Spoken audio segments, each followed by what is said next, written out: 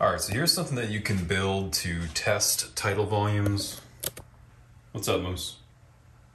Um, test tidal volumes. So I've graduated this cylinder on the side after I have attached, you know, like everything internally that I need to. So essentially all I have is just an ET tube going in here. This is just because I cut it off and I had to plug it right there. And then I colored the water a little bit. So after everything was in there, I graduated it from the level of the water going up from there in 100 ml increments.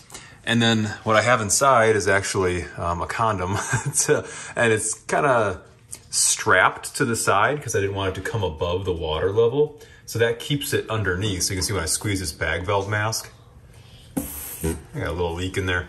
But essentially all it's doing is displacing the water.